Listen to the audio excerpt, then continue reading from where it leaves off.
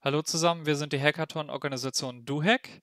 Wir haben uns dazu entschieden, auch am Wir vs. Virus Hackathon teilzunehmen und unseren Beitrag zu leisten. Ähm, wir haben uns überlegt, dass wir dabei helfen wollen, äh, die Infektionsrate zu verringern und Infektionsketten aufzudecken.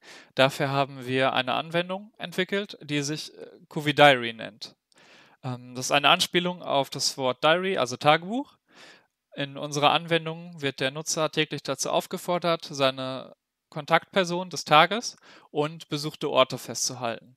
Im Falle einer Infektion soll dies dazu führen, dass die Kontaktpersonen für einen gewissen Zeitraum eben sehr einfach ermittelt werden können und äh, die Leute gewarnt werden können, dass sie sich eventuell angesteckt haben können.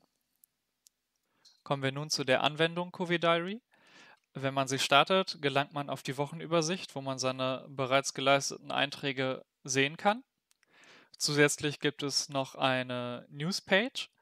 Ähm, hier kann natürlich auch eine andere API angebunden werden. Im Idealfall würden hier auch Nachrichten direkt von der Bundesregierung reinkommen. Des Weiteren gibt es dann noch Einstellungsmöglichkeiten für die Benachrichtigung und Erinnerung. Wenn man sich dann entschieden hat, seinen heutigen Tagebucheintrag zu machen, geht man einfach auf Eintrag hinzufügen und gelangt äh, zu diesem Wizard, wo man die Frage beantwortet, ob man heute unterwegs war draußen. Wenn ja, dann gelangt man zu dem Tab, wo man Orte hinzufügen kann, die man heute besucht hat, zum Beispiel, ob man im Netto einkaufen war heute. Danach wird man gefragt, ob man direkten Kontakt zu anderen Personen heute hatte, ob man sich zum Beispiel mit jemandem getroffen hat. Und hier kann man dann Kontaktpersonen festhalten. Äh, zum Beispiel hat man den Herrn Hansen von nebenan getroffen.